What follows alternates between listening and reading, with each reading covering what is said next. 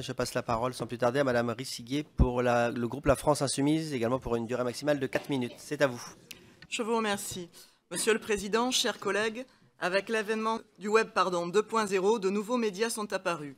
Cette deuxième génération du Web permet à chaque internaute de déposer et de promouvoir du contenu sur un réseau informatique mondial potentiellement visible par des millions d'internautes, exposant ainsi les plus jeunes générations.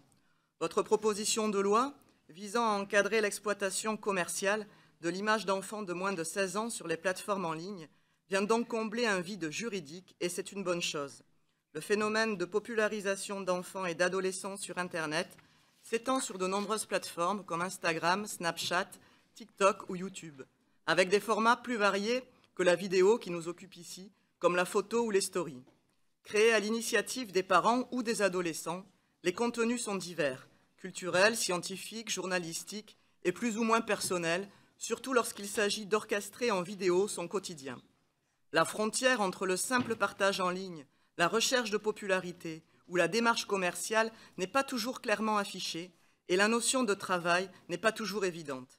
Certains de ces influenceurs parviennent à obtenir une grande visibilité auprès de communautés d'internautes.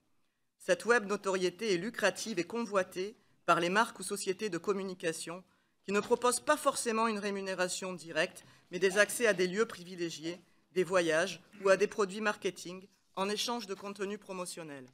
Ces contreparties ne sont pas actuellement valorisées comme des revenus financiers ni même soumis aux cotisations sociales, et peuvent pourtant atteindre des sommes conséquentes. Cette situation nécessite donc bien de légiférer. Cependant, cette proposition de loi gagnerait à aller plus loin sur certains points. Afin que l'intention des parents et de leurs enfants soit clairement identifiée comme une démarche à but promotionnel, il semble opportun qu'après une demande préalable auprès de la Commission des enfants du spectacle, soit obligatoirement créé un compte professionnel sur ces plateformes qui inclurait le numéro d'agrément délivré par la préfecture. De plus, les contreparties matérielles non valorisées pourraient quant à elles faire l'objet d'une déclaration à partir d'un seuil défini. Enfin, dans l'article 2, relatif à la méconnaissance de l'obligation d'autorisation individuelle, le délai de retrait devrait être précisé. Le terme promptement est trop vague. Il en est de même pour l'article 5, relatif au droit d'oubli numérique. L'expression « dans les meilleurs délais » est à définir en nombre de jours précis. Nous proposerons des amendements allant dans ce sens pour l'étude du texte dans l'hémicycle, mais comme vous le voyez, nous y sommes plutôt favorables. Je vous remercie. Euh, promptement, euh, c'est tout simplement ce qui est euh, prévu par la loi pour la confiance de l'économie numérique.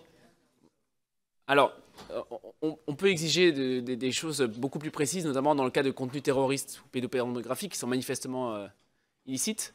Euh, dans ce cas, euh, c'est un petit peu plus compliqué. Donc le terme promptement, j'ai simplement repris euh, ce qui était déjà écrit dans, la loi. Maintenant, bien entendu, on pourra discuter, si vous le souhaitez, d'amendements en ce sens.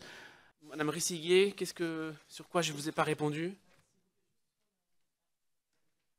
C'est mon vous remercie. Non, j'aurais juste aimé avoir votre avis sur la proposition euh, de prendre en compte euh, les choses qui ne sont pas valorisées, comme les voyages ou comme les objets qu'on peut offrir, etc., et de le compter comme euh, rémunération.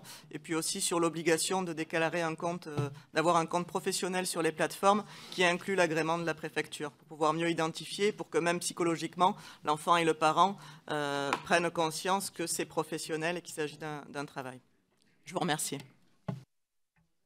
Alors, euh, la, proposition de loi telle qu'elle vous est présentée aujourd'hui prévoit que tous les revenus directs et indirects sont pris en compte. Voilà, ça c'est déjà... Euh, après, sur le compte professionnel, euh, encore une fois, je rappellerai que si vous voulez monétiser vos vidéos, effectivement, il faut produire des coordonnées bancaires, et donc une carte bancaire, donc il faut avoir 16 ans hein, pour avoir droit à cette carte bancaire.